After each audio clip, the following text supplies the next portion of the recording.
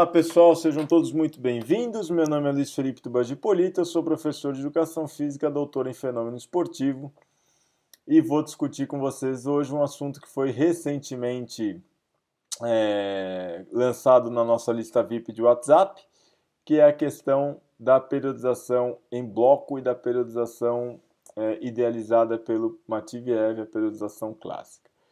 Se você ainda não faz parte da lista VIP e tem um interesse, mande uma mensagem para o número que está abaixo deste vídeo com a palavra ROCK e você então será adicionado tanto à lista VIP de periodização como à lista VIP da fisiologia do exercício.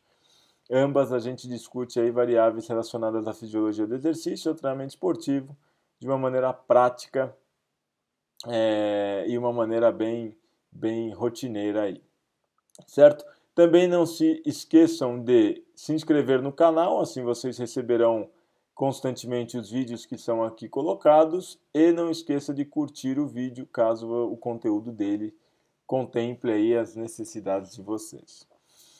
Bom, dois autores, Lev Pavlovich Matviev e Uri Verkoshansky. Dois autores importantíssimos para a história do treinamento esportivo, certo? Lev Pavlovich Matviev, primeiro. Yuri Verkoshansky, vem depois o Matviev. O Matviev tinha um modelo de periodização que ele chamava de modelo de cargas diluídas. O que era o modelo de cargas diluídas? Era um modelo. Primeiro a gente precisa entender o contexto em que esses modelos foram pensados, né? Tanto o modelo Matviev como o modelo Verkoshansky é, eles foram pensados de acordo com as necessidades do contexto esportivo das suas respectivas épocas. O Matviev queria, é, porque queria mostrar para o mundo, a partir dos Jogos Olímpicos, a superioridade do bloco soviético em detrimento do bloco capitalista. E para isso existe uma competição em que todas as nações estão reunidas e é palco de muitas manifestações políticas, que é o caso dos Jogos Olímpicos. Então, o Matviev, ele pensava e organizava e periodizava o treinamento, ele pensou o treinamento é, para que os atletas apresentassem o pico de desempenho durante os Jogos Olímpicos.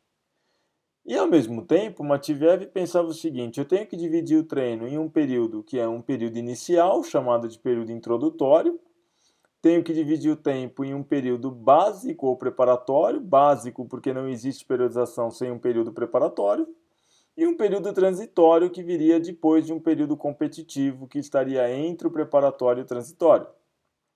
O competitivo seria o período próprio da competição.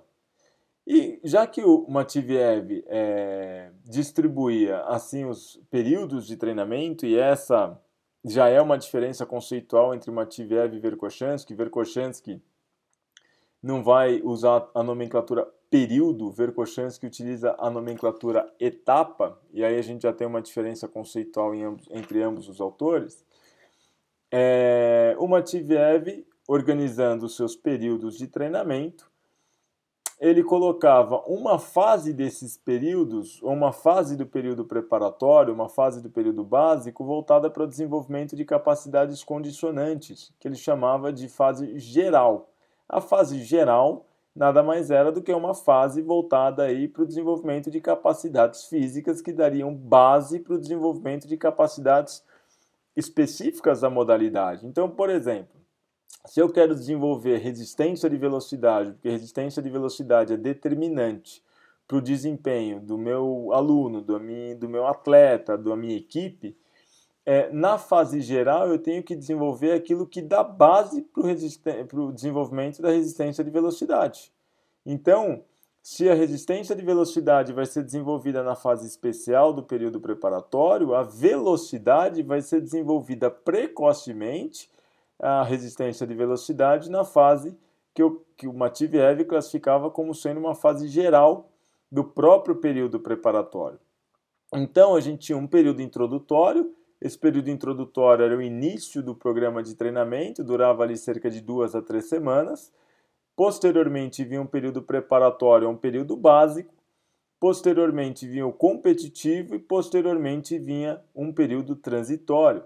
Que seria o período aí intertemporada, entre uma temporada e outra, que normalmente coincidiria com um período muito próximo às férias dos alunos, dos atletas e assim por diante.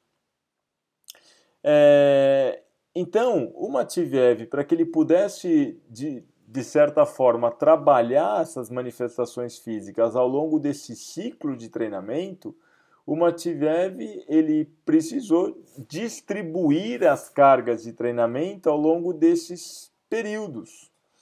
Por isso que o Matveev é, recebe, o modelo do Matveev recebe o nome de modelo de cargas diluídas. Ou seja, eu diluo as cargas, eu distribuo as cargas ao longo de todo o macrociclo de treinamento trabalhando com duas variáveis básicas, uma variável que é o volume, a outra variável que é a intensidade. E aí o Matveev é, preconizava que no início da temporada eu desse ênfase ao volume e conforme eu fosse avançando no programa de treinamento, a ênfase fosse sendo dada à intensidade do treinamento com a devida redução do volume de treinamento. E se a gente pensar no fitness, a gente tem uma, uma proximidade muito grande. O Matveev deixou uma herança muito forte, né? Porque olha só, é, o próprio fato do treinamento de força, é, na grande maioria das vezes, nos guidelines, ele ser sugerido iniciando-se pela resistência de força ao invés da força máxima, é uma herança que a gente tem do Matveev, onde no início do programa de treinamento a gente dá ênfase para o volume e não para a intensidade de exercício.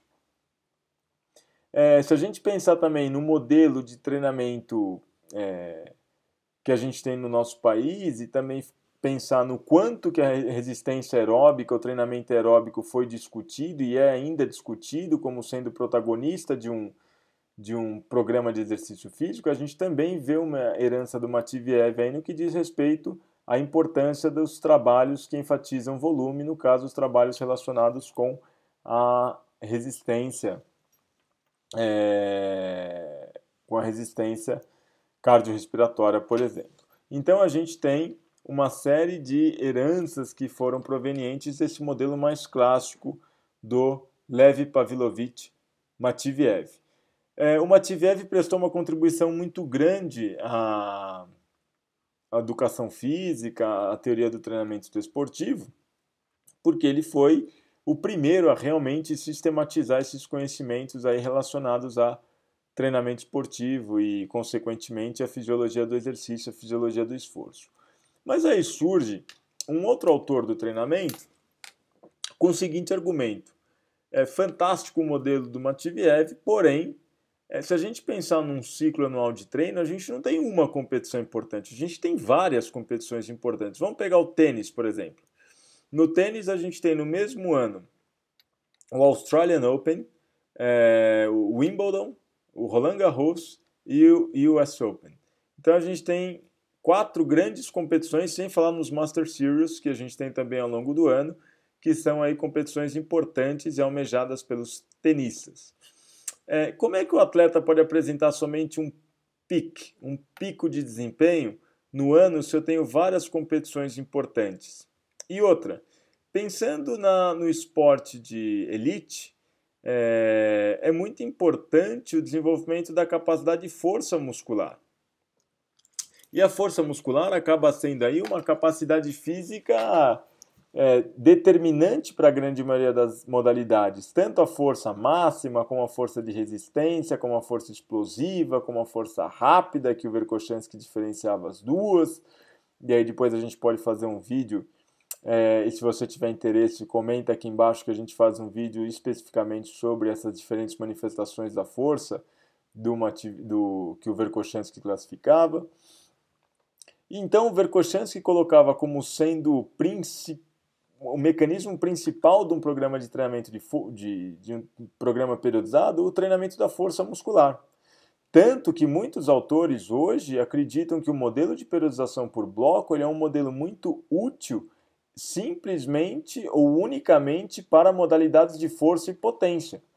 Eu já tive a oportunidade de trabalhar em alguns clubes e nesses clubes é, trabalhar com um modelo de periodização por bloco é, em modalidades coletivas, por exemplo. E vou ser bem sincero com vocês, não encontrei ali naquele contexto o melhor modelo de periodização a ser aplicado para aqueles atletas em especial.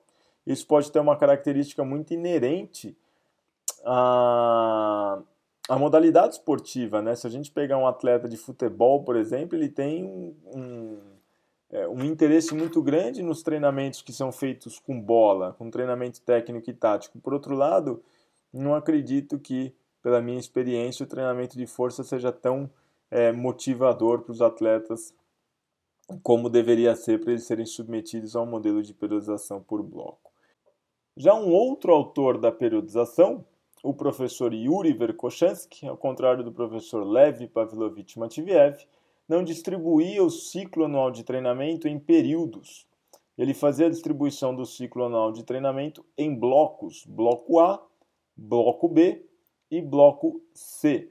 O bloco A era um bloco em que você tinha aí ênfase nas questões é, do trabalho da força muscular. Era um bloco concentrado no trabalho de força muscular. Não à toa que ele recebe o modelo de periodização do Verkhochansky um nome de modelo das cargas concentradas, porque as cargas concentradas de força eram aplicadas no primeiro bloco.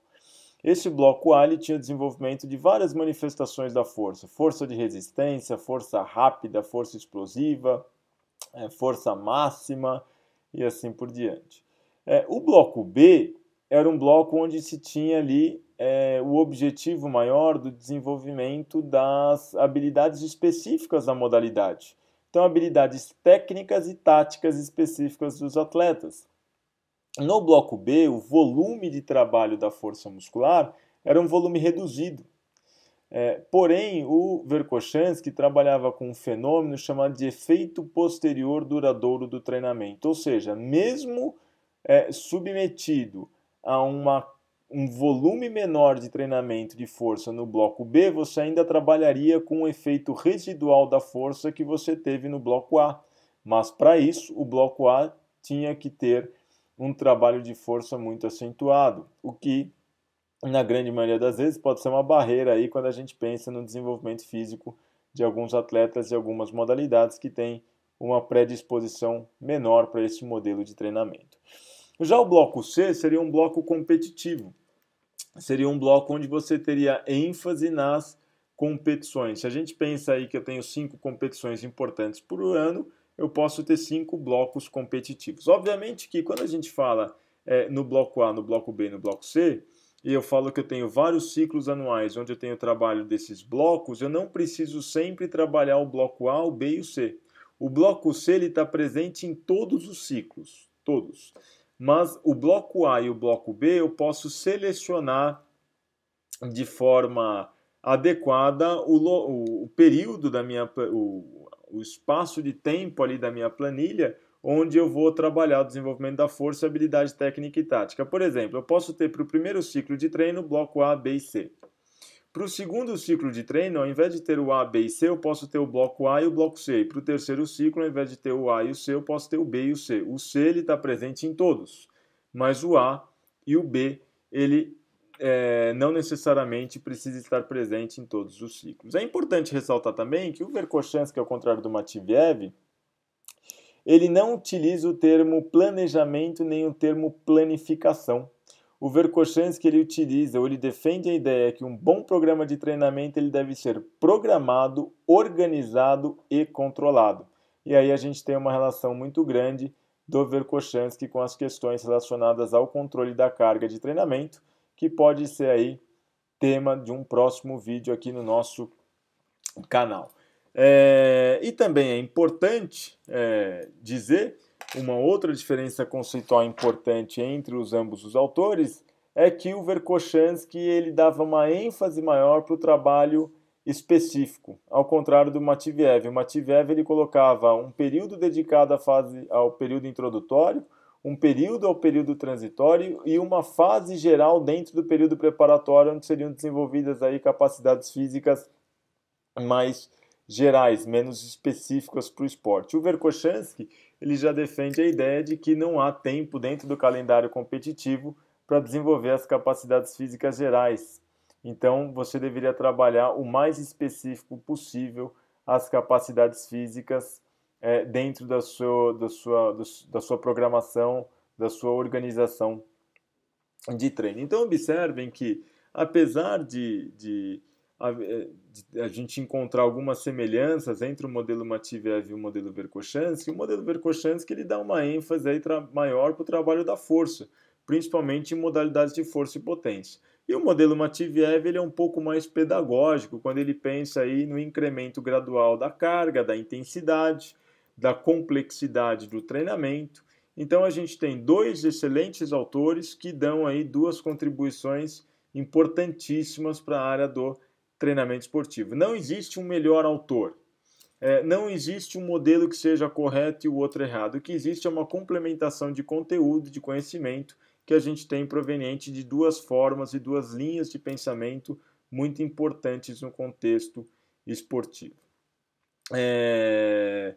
O modelo Verkhoshansky ele é um modelo mais voltado para o calendário competitivo atual. O modelo Matveev era um modelo mais voltado para um calendário competitivo em que priorizava-se principalmente ah, os Jogos Olímpicos, é, o que a gente sabe que hoje em dia a gente tem várias competições importantes e isso talvez possa ser um ponto positivo aí para o modelo de periodização das cargas concentradas do bloco. É, obviamente que tem outras peculiaridades, outras especificidades dentro desse modelo de treinamento que a gente vai discutir com vídeos posteriores, certo? Bom, pessoal, é... hoje é só. Espero que vocês tenham gostado da nossa discussão. Peço que vocês curtam o vídeo, se inscrevam no nosso canal para que vocês possam receber aí as notificações de quando a gente lançar um vídeo novo no canal. E caso vocês ainda não estejam na lista VIP de WhatsApp, o telefone está aqui embaixo, basta enviar uma mensagem com a palavra ROCK e aí você vai ser incluído em ambas as listas VIP, tanto da fisiologia do exercício como na que a gente discute periodização e semanalmente a gente está enviando artigos lá para poder discutir isso de uma forma cada vez mais aprofundada, prática e simples. O importante é descomplicar a ciência do exercício. Desejo a vocês uma excelente semana, fiquem com Deus e qualquer dúvida não hesitem em me perguntar. Um grande abraço e até a próxima.